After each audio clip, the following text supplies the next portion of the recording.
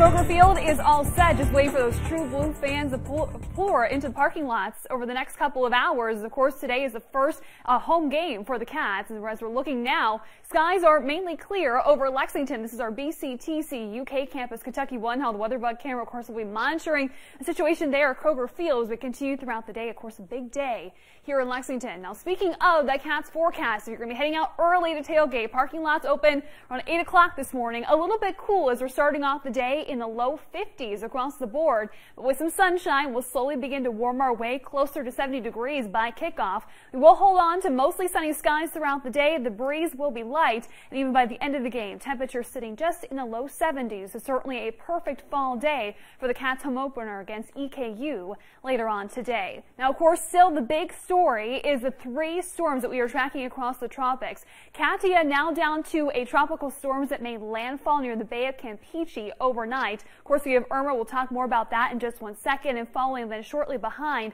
is Jose, which is still going to pose a threat to the Leeward Islands, but then will be hooking out to sea and could be impacting, though, Bermuda in the coming days. Meanwhile, Irma has slightly weakened, now down to a Category 4 hurricane. It was sitting at a powerful Cat 5 as it made yet another landfall across the northern portions of Cuba late last night. So still churning across uh, the northern portions of Cuba, again sitting at a category 4 with maximum sustained winds of 155 miles per hour. And at this point, a U.S. landfall somewhere across South Florida is all but certain. Hurricane warnings and watches are already out. So from about Orlando and Tampa southward, there are hurricane warnings out. Meanwhile, around Jacksonville, even up towards Tallahassee into the panhandle, we have hurricane watches out. Also into the Bahamas, hurricane warnings out at this point this morning. So the storm's path continues to take its skirting across Cuba throughout the day today before it then takes a more northerly track towards the Keys. And of course, those islands not too far above sea level, so they could be dealing with some devastating flooding there.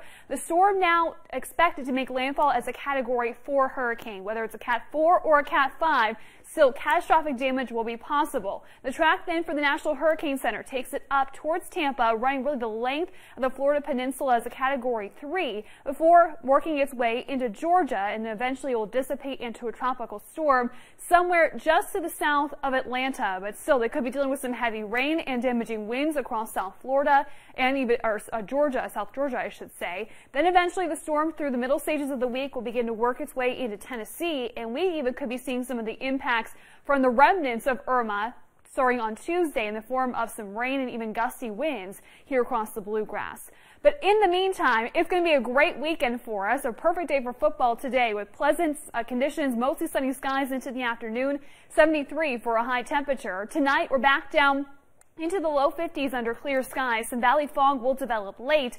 Tomorrow, more of the same. We'll maybe tack on a few more degrees with mostly sunny skies. We're still dry into Patriots Day on Monday. We'll gradually begin to see increasing clouds, though, as the remnants of Irma begin to inch ever so closer. We'll include now then some showers uh, as we look towards Tuesday and Wednesday, even lingering into Thursday as well. High temperatures will only reach the upper 60s to low 70s while we're tracking the rain, but then we start to warm things back up with temperatures back into the mid to upper 70s through the start of next weekend. Stephen Claire.